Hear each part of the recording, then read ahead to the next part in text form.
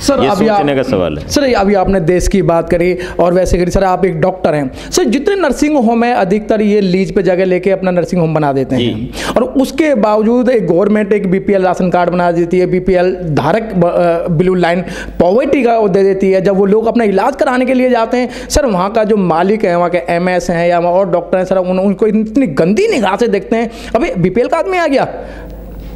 देखो ऐसा है, सरकारें उनको सुविधाएँ मुहैया कराती हैं। एक रुपये मीटर पर लीज पे वो ज़मीन देती हैं और और और फैसिलिटी प्रोवाइड करती हैं। तो उसमें जो 25 परसेंट या 20 परसेंट का उसमें प्रोविज़न गरीब लोगों को रखते हैं, बीपीएल वालों को, बिलो पॉवर्टी लाइन वाले मरीजों को रखते हैं, वो उनको फैसिलिटी प्राइवेट हॉस्पिटल्स को देनी चाहिए।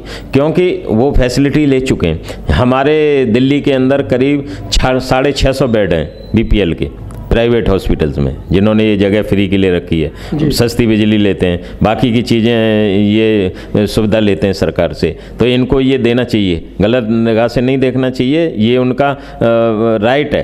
बीपीएल जो कैटेगरी के पेशेंट हैं उनका राइट है उनको सुविधा मिलनी चाहिए। नहीं तो फिर बीपीएल वाले जो पेशेंट हैं बिलो पॉवर्टी लाइन वाले पेशेंट वो मर जाएँगे।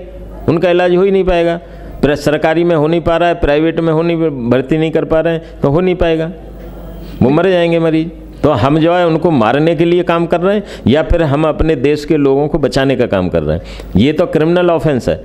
ये क्रिमिनल ऑफेंस है। अगर वो संस्थान, वो हॉस्पिटल्स जो बीपीएल को बीपीएल कार्ड वालों को फैसिलिटी नहीं दे रहे हैं, जो सरकारों से सरकारी सुविधा ले चुके हैं, ये क्रिमिनल ऑफेंस है, ये क्राइम है।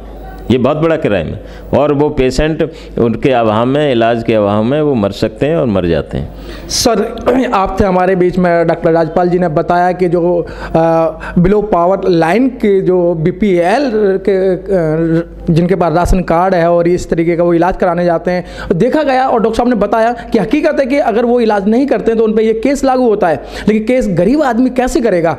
ये भी एक जानना पड़ेगा, ये सरकार को सोचना पड़ेगा। कैमरामैन गौतम के साथ मनोज पिप्पल। सर एक